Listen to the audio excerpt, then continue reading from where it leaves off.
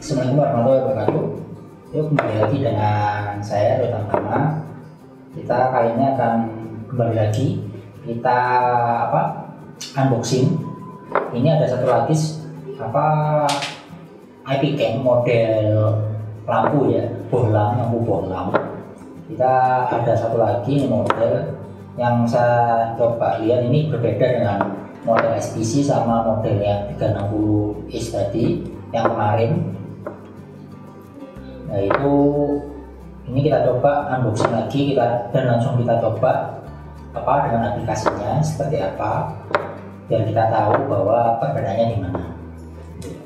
Oke langsung saja di sini apa ini nggak ada mereknya ya mereknya ini panoramik kamera. Tanpa jelas mereknya apa ya ini biasanya merek-merek China ya. Ini spesifikasinya sih kalau saya ini sama persis sama dengan SPC sama 360 AC tadi yang kemarin maksud saya. Itu ini langsung kita buka ini sini ada lampu. Ini bentuknya. Lampu. Ada dus nyala lampu kita dapat fitting lagi fitting kamera. Fitting kameranya ya ini fitting lampu maksudnya.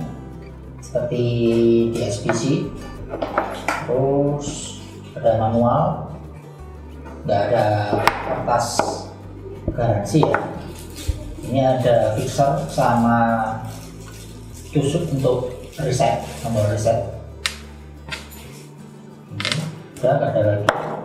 Secara spesifikasi nggak ada dus lengkapnya. Kita terlebih dahulu.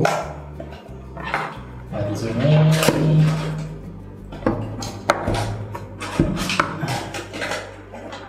Kita singkirkan. Nah di sini secara desain ini mirip sama dengan SPC lebih besar dibanding yang 360 inch nah di sini ada mikrofon. Ada logonya ya mikrofon. Di sini ada lensa lensanya 1,3 megapiksel. Terus di sini ada tombol reset. Terus di sini ada apa slot micro SD yang sampai 64 GB kapasitasnya supportnya. Terus di sini ada speakernya nggak tahu yang mana ya. Ini yang jelas di daerah sini ini pasti ada speaker karena di sini sudah support two ways communication lampu ini. Secara watt juga kemungkinan sama 3 watt. Nanti kita coba secara langsung. Terus kita baca dulu buku manualnya ini dia pakai aplikasi apa? Kalau di sini dia pakai aplikasi 380 Pro ya berbeda dengan SPC ya, kalau SPC pakai ITC kalau yang 360 itu pakai yang 360 Ace kalau yang ini modelnya pakai 380 Pro.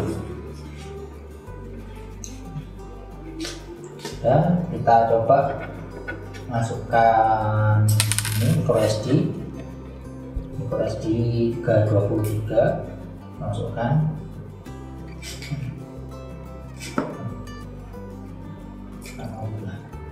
dan kita pasang ke fitting mode stop kontak.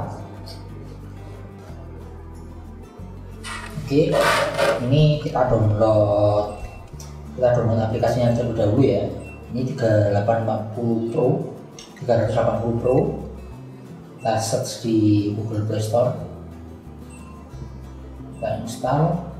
Dan saya ingatkan lagi ya ini apa IP cam ini harus direset terlebih dahulu jadi cam ini harus direset terlebih dahulu untuk apa memudahkan kita. Jadi memang beberapa kali barang yang baru kita beli itu tidak langsung connect ke aplikasi sebelum kita reset itu nggak tahu kenapa ya mungkin sudah dicoba sama penjualnya untuk testing quality control apa nama pabrik dan lain yang sering kali langsung kita coba itu selalu apa APK nya tak connect dengan aplikasi.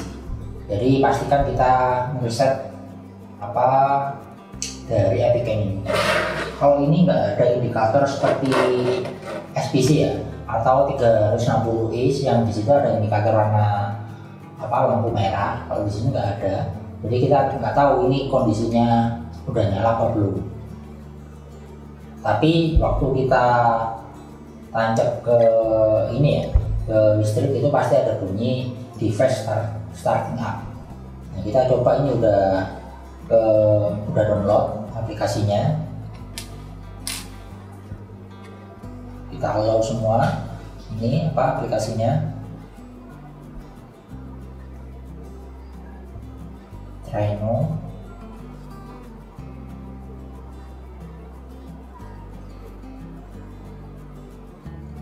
ya ini ada user agreement kita agree aja.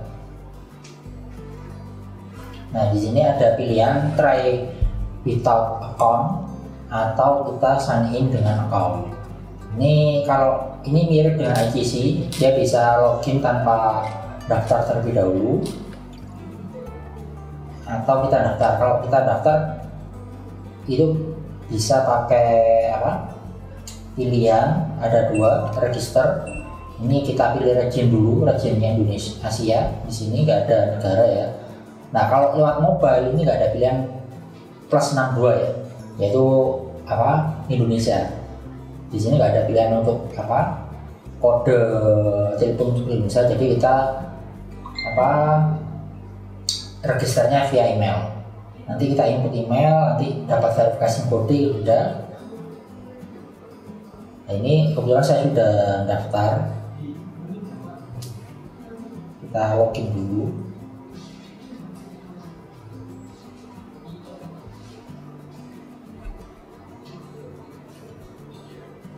Nah di sini kalau device sudah kita reset itu langsung muncul di 380 ini notifikasi ada device baru yang terdekat. Di sini kodenya MV 1331858 nah kita langsung konekkan aja connect add kamera kita tunggu. Nah di sini ada pilihan wifi. Kita pilih wifi nya kita masukkan passwordnya. Kita masukkan passwordnya.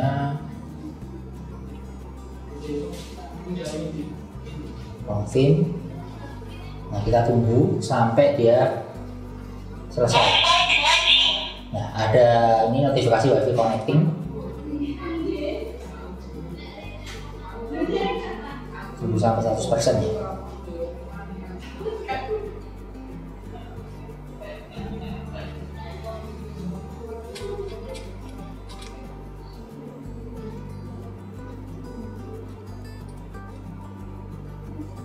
Nah, kalau sudah komplit, dia ada notifikasi wifi komplit Nah di sini ada kita kasih nama, misalnya kita kasih nama tamtam, kita klik finish. Nah di sini statusnya ada online. Di sini tampilan awal ya, ini ada cloud. Kalau kita konekkan ke cloud, di sum, jadi kurang tahu di sum itu apa. Share, delete, delete ini untuk mendelete kamera ini. Nanti kalau kita delete kita harus konekkan ulang. Di sini ada setting, di sini juga ada alarm message. Terus di sini ada cloud. Cloudnya itu langganannya kurang tahu ya. Ini cloud penawarannya. Terus ada demo. Terus ada profile. Profile di sini ada message. Ada album. Ini hasil ini ya hasil rekaman kita atau hasil screenshot kita. Ada ini FAQ frekuensi answer and question ada settings. Dan kita kembali ke device. Ini kita klik. Nah ini di sini pasti awal kali harus menghasilkan password. Kita set password dulu terserah. Kita mau password apa. Untuk password wifi IP cam ini ya minimal 6 password eh 6 angka.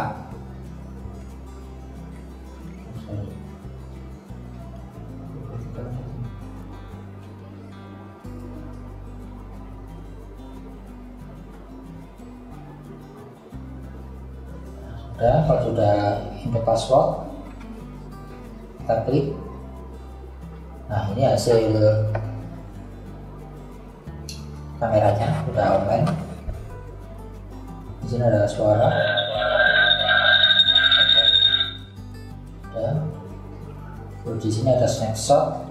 Ini screenshot. Terus di sini ada record hasil record. Ada replay di replay ini apa ya? Playback ya sama kayak playback dari hasil recordnya kita itu apa? Kita rekam ulang. Kita putar ulang di replay. Kita coba ini ada more. Ini ada install. Install ini maksudnya model ini ya model lampu. Jadi tampilan ini. Terus di display model. Nah ini ada yang full screen ada yang apa vis A model vis A. Terus di sini ada inversion inversion ini kayak rotate ya dibalik-balik terus ada lag control. Nah lag control ini ada posisi auto off sama on. Nah on ini di ada tiga titik persis kayak SPC ya. Tiga titiknya di samping-samping terus ada auto. Kita coba auto kalau kita matiin ya. Coba kita matiin lampunya dia harusnya udah bisa nyala.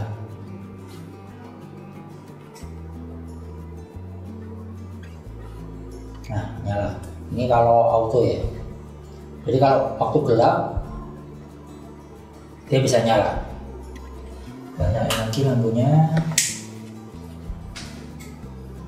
Jadi tapi di sini nggak ada fitur ini ya apa? Nggak ada fitur timing ya kayak SPC itu dia bisa timing ngatur kapan nyala kapan untuk mati. Di sini nggak ada.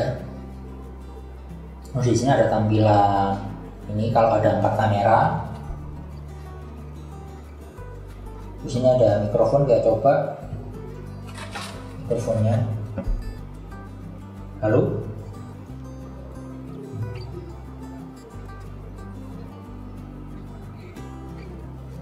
halo?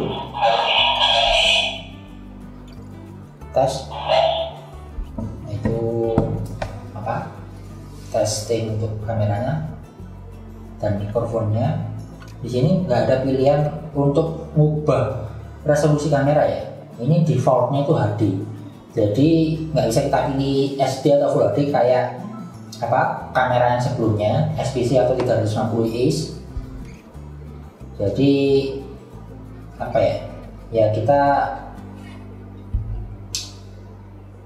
kita menerima apa adanya di sini ada coba kita ada tombol setting. Di sini ada setting ini ada general. General di sini ada device detail. Device detail nama device ID username. Device password ada device time. Time itu zona waktu kita pilih yang mana kalau Indonesia itu UTC UTC plus. UTC plus 7 ya? Indonesia ini UTC plus 7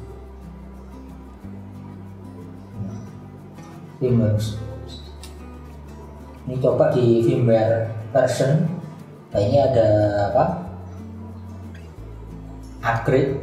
Kita bisa upgrade. Ada pembaruan firmware tadi terus ada network network ini kalau kita milih pindah jaringan wifi ya. Jaringan jaringan wifi kita apa aja jaringannya kita bisa pindah. Terus di sini ada lagi video record. Video record ini apa pengaturan untuk apa ya? Merekam video kameranya. Ini ada continuous recording bisa kita klik atau tidak kita klik nah kita kalau defaultnya itu continuous recordingnya off. Jadi dia hanya merekam untuk apa event-event tertentu. Event tertentu kayak gimana kalau ada motion detection. Jadi dia kalau ada gerakan baru merekam. Tuh. kalau continuous recording dia tanpa ada gerakan atau ada gerakan dia merekam cara terus menerus terus ini ada alarm alarm on bisa kita on kan alarm sound juga ada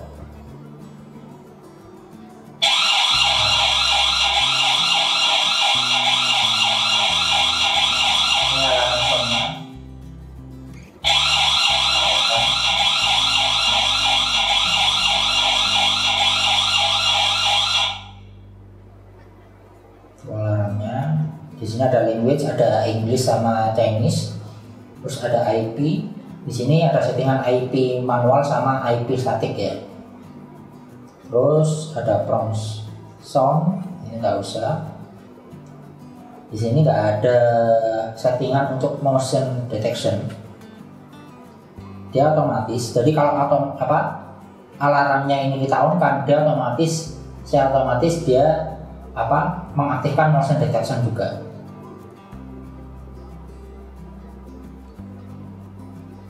ya. Dan gitu aja dari video kali ini ya. Nanti kita coba video berikutnya kita bandingkan antara video antara produk yang satu dengan yang lain secara apa ya secara berbarengan. Di mana yang mana lampu yang lebih baik yang mana? Secara fitur hasil kamera hasil kameranya gimana hasil rekamnya itu kita coba bandingkan.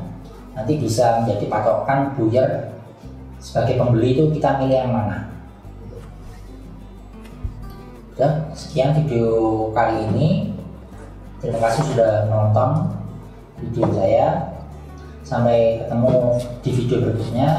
Saya ucapkan terima kasih. Assalamualaikum warahmatullahi wabarakatuh